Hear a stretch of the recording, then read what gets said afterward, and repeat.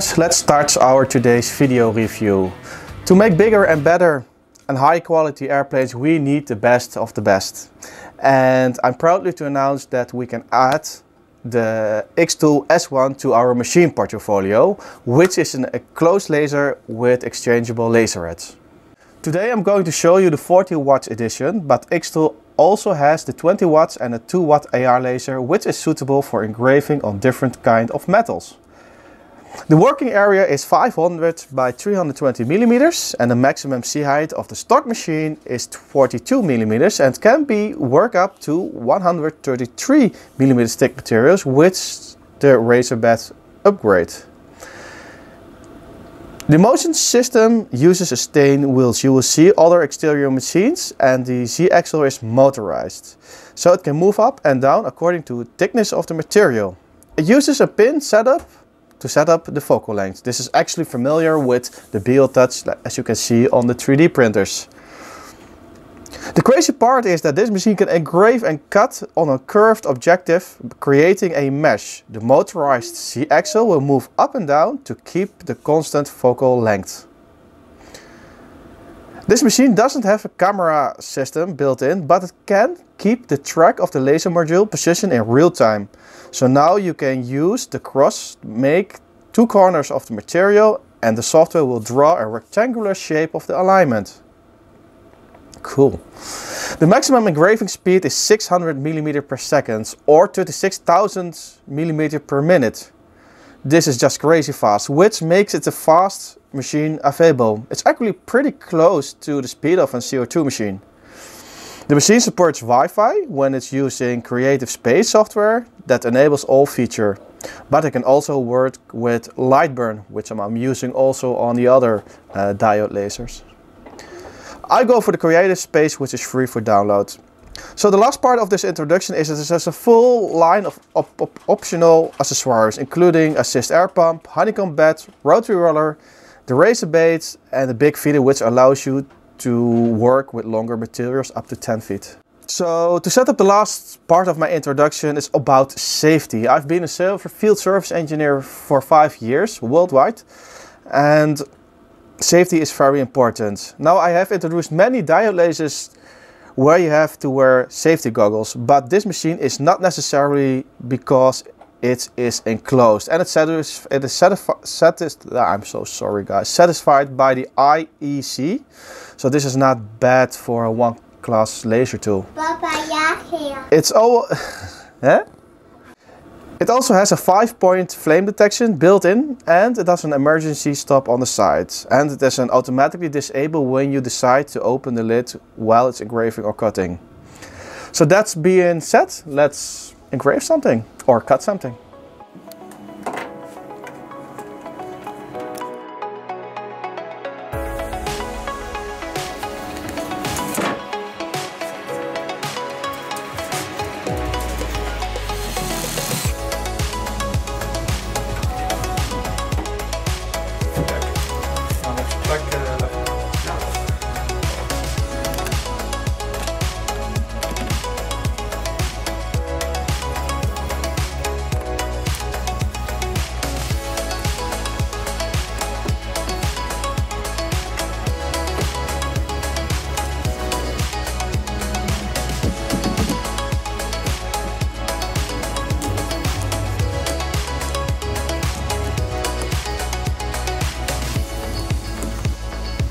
সরফ এই ব্যবসা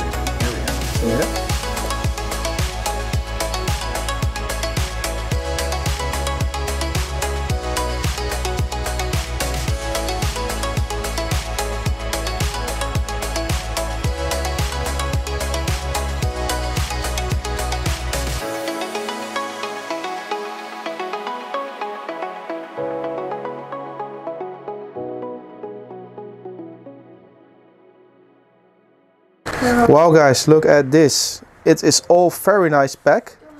Also the, the manual is even in, in, in Dutch. And it's very clear, clear and high detailed. So great job Xtool. Uh, what they also sent with the package, uh, beside of a toolbox, is also some tools to play with, to laser cut. So let's see what's inside. Wow, look at this. We got a small stone to engrave. So I'm thinking to do an engraving part with our um, F35 on this. We got some clear glass, it seems like.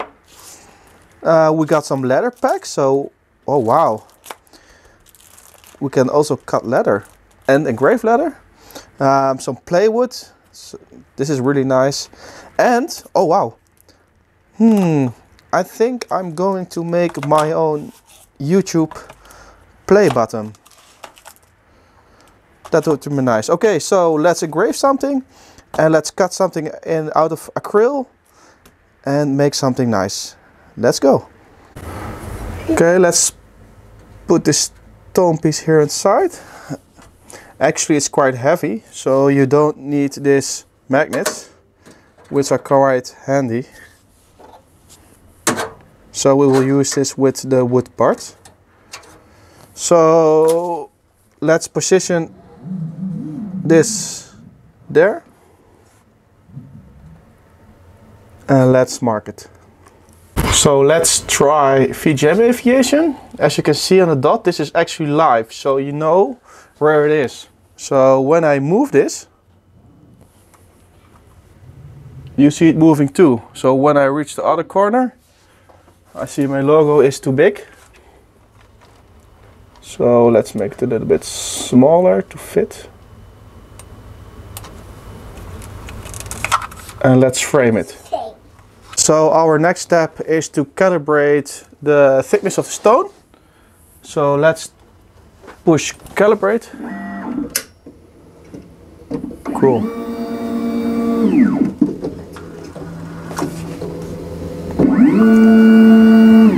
Amazing.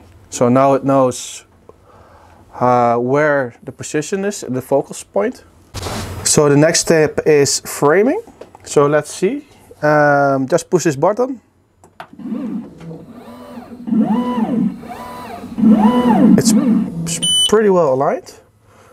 Let's put a little bit. Let's try it again. Wow.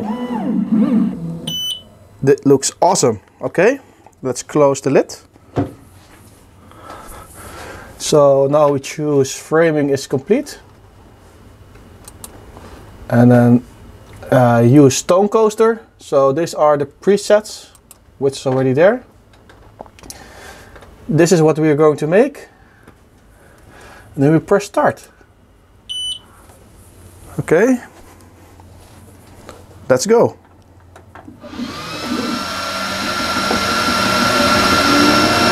Wow. This is really, really fast.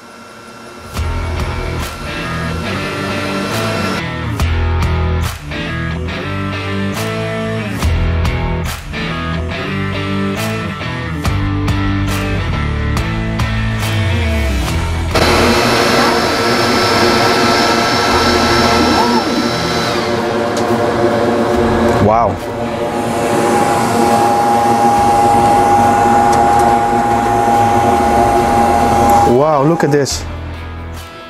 this is amazing. We just engraved on stone.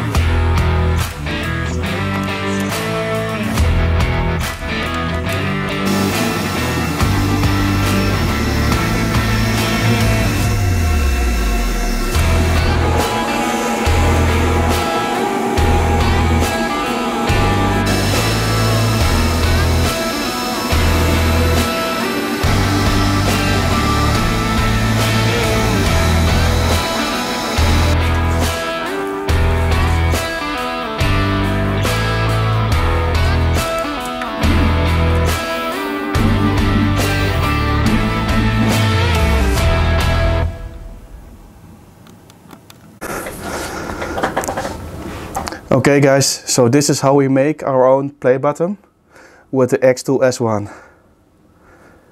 Wow, it looks really amazing.